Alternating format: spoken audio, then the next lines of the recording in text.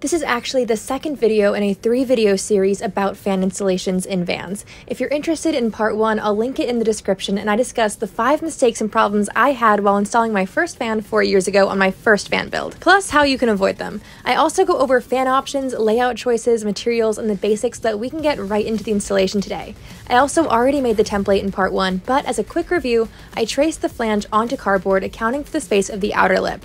And now I have taped that template where I want the fan and made sure it is straight and centered. The first hole, I, I get it, I feel nervous. But the first hole actually goes right through the middle, so there is no way I can mess this up. I mean, there definitely isn't no way I could mess this up. It would be pretty difficult though, as my only job is to get a hole through somewhere on the template so I can match this up and use it as a guide on the roof.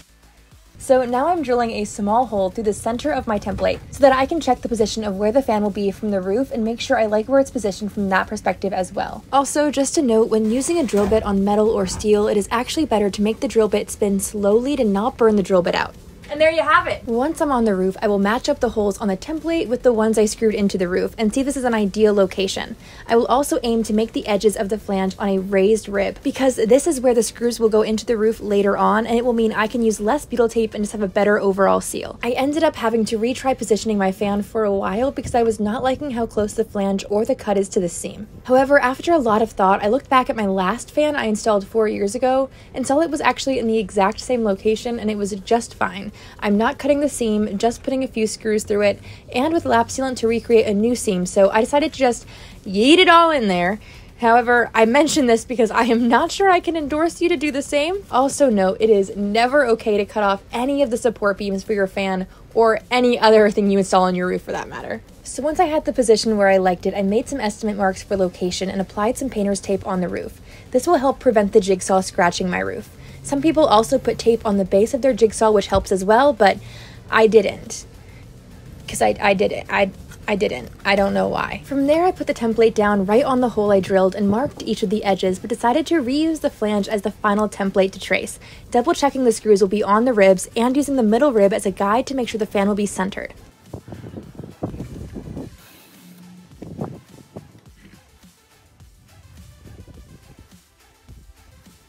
Next, I went back into the van to hang up a trash bag for all of the metal shavings that are about to fall from the roof so they don't end up all over my van.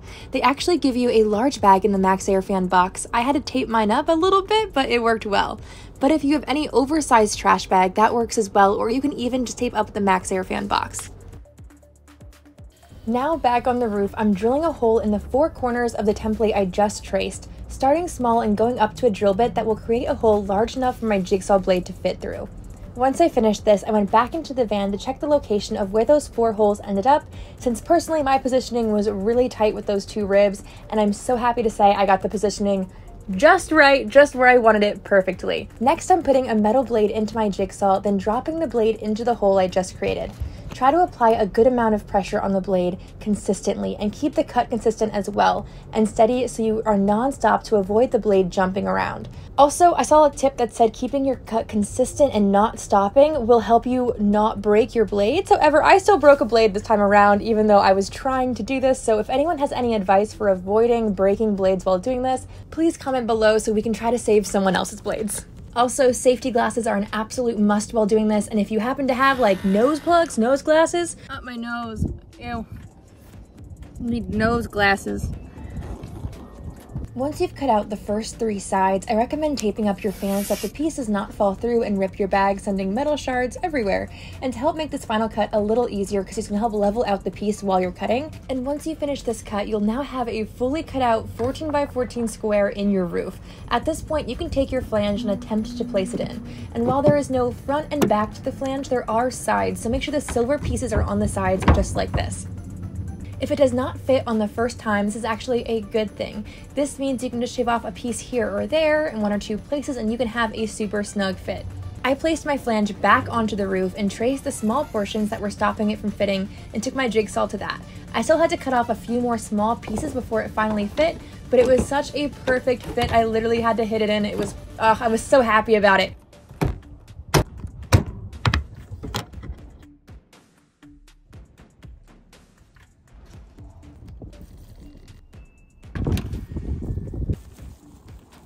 And now we can finally remove the painter's tape. Throughout the entire installation after this point, I also consistently start trying to clean up and get all of the metal pieces off of my roof. I'm trying to avoid them getting stuck somewhere and creating rust. I also quickly regretted installing my roof rack before doing the fan and the skylight and all those things because so many pieces of metal got stuck under the roof and are going to be an absolute nightmare to get out. A magnet is a really good option for picking up the small pieces, but right after cutting the hole, there were so many large pieces, I actually just swept them right into the garbage bag that was hanging down under the hole. Honestly, I'm watching this back right now, and I have watched so many people sweep the metal like this in videos, but I'm like watching this being like, am I not scraping the roof with the metal pieces as I sweep it into the hole?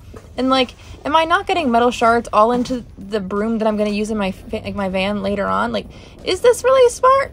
You know, maybe vacuums are the best way to go, but I don't have a vacuum. So now we have to file down the edges so nothing is sharp or sticking out or rough. You're supposed to do this with a metal file, but I could not bring myself to buy a tool that I would literally only use once and then would just sit around. So this is another one of those do what I say, not what I do situations. Again, I'm not a professional, but if you want to learn to build a van from a professional, I will link Van Life Academy, a step-by-step van building course by professional van builders in my description, which would take you right to my discount page. Anyway, I just smoothed out all of those edges as much as possible and then cleaned the area. Then I re-taped up the area, giving about an inch gap from the edge. And from there, my next step was to paint over the raw metal edges to avoid rust, and I used Rust-Oleum Clean Metal Primer and sprayed it on each side of the metal both from above and below. I would have preferred to use the actual paint, but the paint is so expensive and comes in such big containers, and I only need a little bit, and this works just fine. So that's what we're doing this today. And oh my gosh, listen to me being cheap again. So while the spray paint dries, you must learn to clone yourself, okay? This step is very important.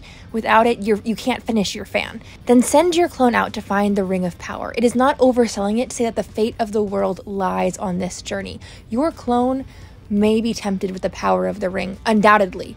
They may desire to succumb to its draw, but regardless, you must send them to Mordor with the ring and their life's one true purpose. And then you can get back to working on your fan. Trust me, bro, the spray paint physically cannot dry unless your clone is on its way to Mordor. Then and only then can you get back to working on the fan install. So now that all of the cutting and drilling is done, you can remove the garbage bag and discard appropriately, and feel free to remove the tape now as well.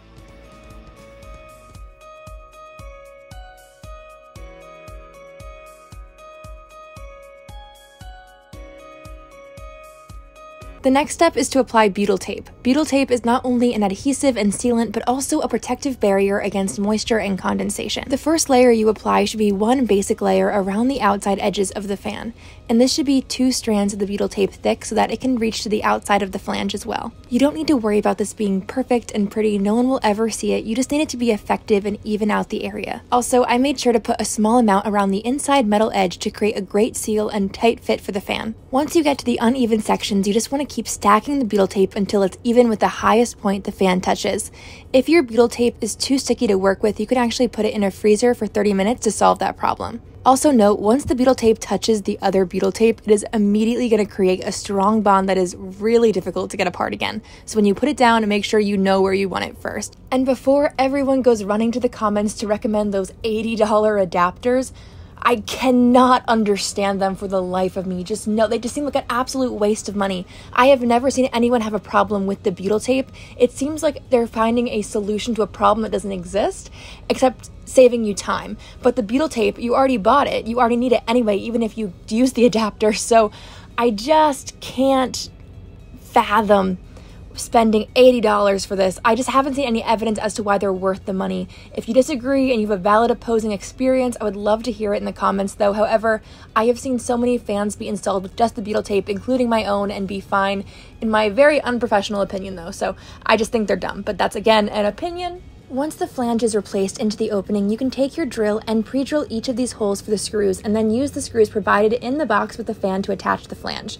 The bag has many screws in it, so be sure you're grabbing the right ones. The four small ones will be used later on, and the ones with the flat heads will be used to attach the inside edging. I've also seen people put sealant on the screws before they screw them in, which could create a better water barrier if you want to do that. Also, real quick, I found this product which I won't personally be using as I think it may be another overbuilding trap, but I wanted to share in case you were interested, and I think they share good information for any install. That some people, they want to put an aluminum strip on top of the vent flange to help distribute the load.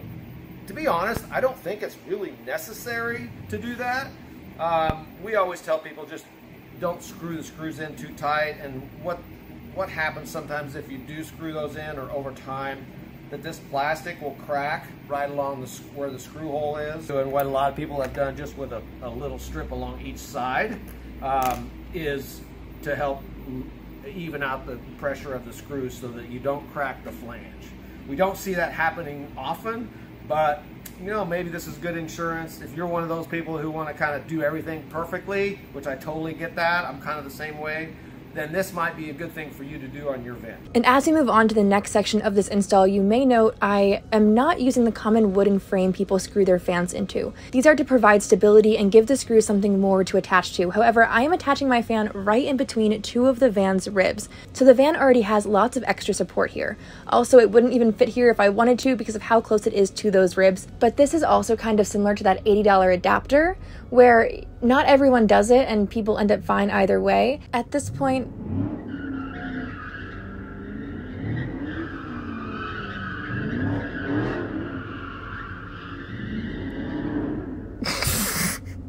Welcome to living in a Walmart parking lot. Anyway, as I was saying, at this point, the wind randomly picks up like crazy again, and my phone keeps falling over while I'm recording, and the screws are frustrating me, and I really feel like I have no option but to call it a night, even though we are so close to being done. At first, this kind of worried me, even though the forecast didn't call for rain. I'd be asleep. Oh my.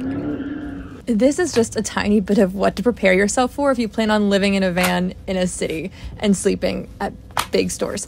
Anyway, sticking your head through the Maxxair fan hole is like a requirement. Have you ever seen anyone not do it? It's like people can't resist it. The temptation, the allure. My head's small enough to fit a... Not gonna lie, going to bed last night with a giant hole in my roof was a little nerve-wracking. so the first step of the day is to remove the excess butyl tape. You can use any card from your wallet, but not your Blockbuster membership card. Do you understand me? That is too sacred. Just take the card and dig it into the excess butyl tape around the edges. Then I re-cleaned the area and now we're ready for the lap sealant. The lap sealant for the fan on my last camper van build ended up being super drippy when it leveled out, and it was further than I would have liked, and I really want this one to look as clean as possible, so I did a lot of research. One suggestion was to apply tape to stop the lap sealant from going too far, then you can pull off the tape and anything that goes on top of the tape will easily be pulled off. I also saw someone suggesting applying it up and down instead of side to side, kind of like welders do, but I tried that when I first started applying this for this fan, and it ended up making it more messy for me personally, and I just wasn't a fan of that method personally. Oh my gosh, I wasn't a fan. what a good pun. Anyway, I decided to just yeet it on there, and honestly, it's not the perfect application I wanted, but I think it ended up pretty good. It didn't level out too far, and you know, it's self leveling lap sealant, it's gonna run a bit. And with the lap sealant as well, I applied a small amount on top of each screw and made sure to go back and check it hit all sides of the screw as well. In this clip, you can kind of see how the lap sealant levels itself out over time, so don't worry about what it looks like when you apply it or it being perfect at first. Also, my last van was colored red, and this white lap sealant looked so bad on it, but I saw someone use a clear sealant of some kind, and if my vehicle wasn't white this time around, I would have looked into that just because the roof would have looked a lot cleaner in the end. Now you can remove the tape around the edges, however you have a long time to wait for this to dry. It takes 5 minutes for it to skin over, 4 hours for it to be waterproof, 48 hours for it to be 80% cured, and 30 days for it to be 100% cured. But that is totally fine because remember when you sent your clone off with the Ring of Power? Well, it is likely they are probably almost to Mordor by now, so this is actually the reason it takes 30 days to fully cure, because it takes them so long to complete their mission. It is actually on them to make a cure.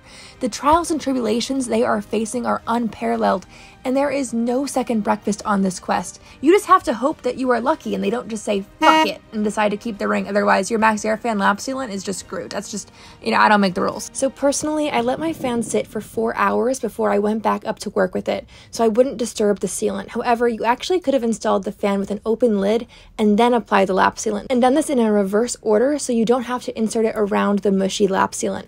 However, I have all the time in the world, so I preferred to just have the open space to apply the lap sealant without the fan lid getting in the way. Are you ready? Also, before you put the fan into the flange, you want to pop up these little metal circles. Make sure that they're aligned with the circles on the plastic part of the flange. And as you place it in, make sure the wires aren't caught in the flange and will be free flowing underneath for later use. Also be sure that the overhanging lip of the fan is located in the back of the fan.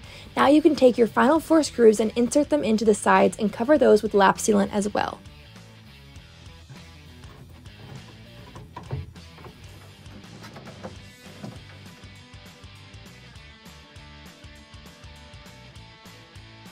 If you'd like, you can also cover the screws from the inside with lap sealant. At this point, you are technically done, but also technically not done. So now we have to be super vigilant to clean up all of the metal shavings around the roof to avoid rust. You'll also need to eventually cut and attach this plastic frame that came with the fan over your ceiling once that's installed. However, for me, I really want to try to go with this more wooden frame look this time around. I've also seen people be able to spray paint these black or other colors to make their van's aesthetic match. I also got this cover from the Wanderful Co. for the fan, which will help insulation, but also blackout light if I ever want it to be completely dark in the van. Also, another side note, some people, like in this video here, add a window trim seal to their fans to seal out more noise. Personally, I didn't really mind it in my last fan, but if you do, that could definitely be a worthwhile thing to add. These fans also have removable bug screens that get dirty pretty fast, so try to schedule to clean it out at least once a month. I constantly see vans where these fans are just so gross and covered in dirt. This is so bad for your health. The Maxxair fan comes in different types with different speeds, and some even come with controllers. Personally, I think they're kind of chunky, and if I have to reach for a controller, I may as well reach for the off button since mine is located just above my bed. However, I did see this cool video about a person who figured out how to connect their fan into a universal remote, and people have also connected them to Alexas, which is pretty cool. These fans also have different speed settings, and some exhaust and intake air, while mine only exhausts air. And this is just a reminder these are not air conditioners, they will not cool your air, only cycle it. And finally, to round out this video, I want to talk about a few issues you may have with your fan over time and how to solve them. Some Maxxair fans can squeak, which sometimes can be solved just by doing a deep cleaning if you've owned it for a while, or by rebalancing or resetting the blades, and people have even had luck getting rid of the squeak just by letting it run for hours on high until it stops. And there's also a common overvoltage issue, which can happen due to oversensitive sensors, and adding a 12 volt voltage regulator between the power supply and the fan can solve this. There are plenty of videos that exist on how to fix all of these issues, but at least you know where to start if your fan goes berserk to look for a solution. In part 3 of this video series, I'll be fixing the issue with condensation dripping onto the circuit board. I decided to make it a third video though to make it more searchable and able to help more people. But there you go, we are now one step further into the van build. It's so exciting. I'll see you in the next one.